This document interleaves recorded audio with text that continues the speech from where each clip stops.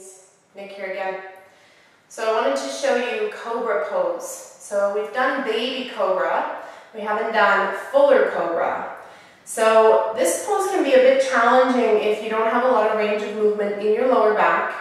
So I'm going to encourage you to please soften the elbows and walk the arms out as much as you feel like you need to in order to make this doable for your body.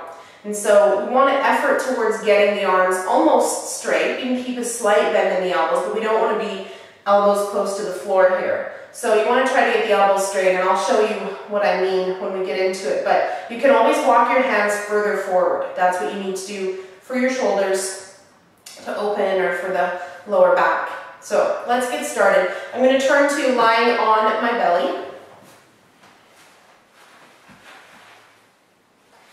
And I'm going to bring my feet right beside each other. So you want to make sure that your feet are acting as if they're one foot. So they're right beside each other. And you're pushing the tops of your feet down into the floor. When you push your feet down into the floor, you're going to feel your thighs start to work and your kneecaps lift up. So it's a strong rooting down. This is so that we don't just use our butt here. We want to use the strength of our legs as well. So rooting down through the legs and the tops of the feet. And then bringing the hands just a little bit ahead of your shoulders. And slowly pushing yourself up. For some of you, you might get right here, and this might be enough. You can even walk your hands forward more. So if, there, if you have a limited range in your lower back, then take this option. Eventually, we can bring the arms straight.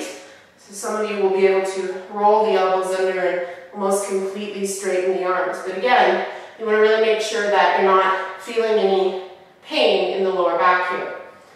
Taking a few breaths here, four to six breaths, and then just lowering yourself down and resting your forehead on your hands.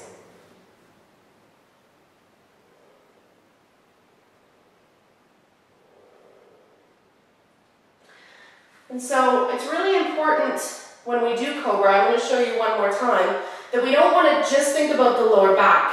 So bringing the hands underneath, coming up, roll your shoulders back, elbows under, pull your heart forward. So it's about the heart coming forward. That's what's important in this pose, not, you know, collapsing in your low back. And then bringing yourself down again to rest.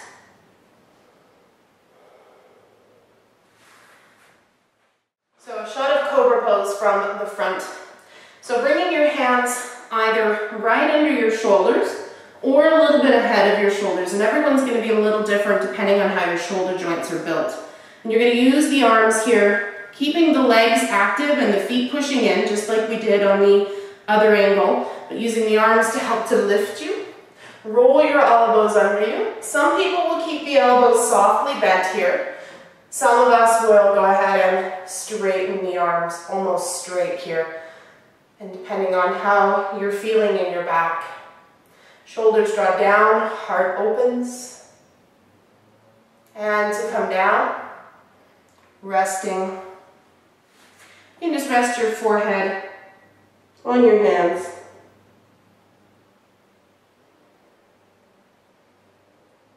Taking a couple of deep breaths there. So Cobra pose or Bhujangasana. Hopefully you found that pose helpful.